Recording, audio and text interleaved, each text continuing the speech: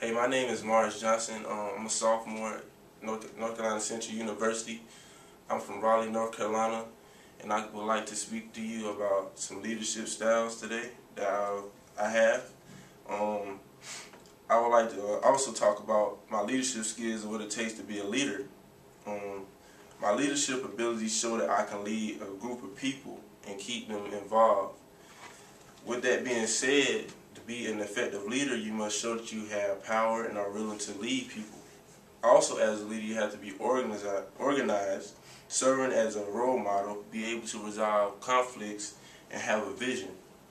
To be a leader, you have to put work into reaching that level, and I've had leadership experiences. My first leadership experience was at Duke Raleigh Rehab Center. I led rehab patients exercises and gave them much needed advice to get their health back to the peak they wanted it or it could be. After that experience, I would love to have more leadership experiences like interning under a manager or CEO to see how they operate their business. So far, I've only had two experiences, like I said, with service organizations. It has really helped me to realize that by being a leader, you can change a lot of people's lives just by being a positive role model. In order to be a great leader, there are many barriers, personal barriers you must get over. My personal barrier that's standing in the way of my evolution as a leader is to be more social and networking. And with networking, it's needed to be a, a great leader because you have more connections.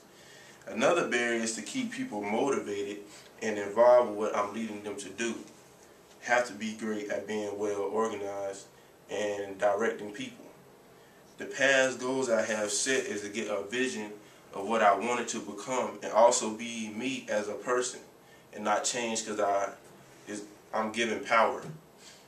Making great decisions and make sure I continue to be a great role model is another goal to enhance being a great leader, being around leaders in class, being around leaders like in school, my family, you know. And with that being said, it will enhance my skills and abilities. The support system I utilize is self-motivation. Being a self-motivated leader, showing I can accomplish my goals and do anything to make it happen.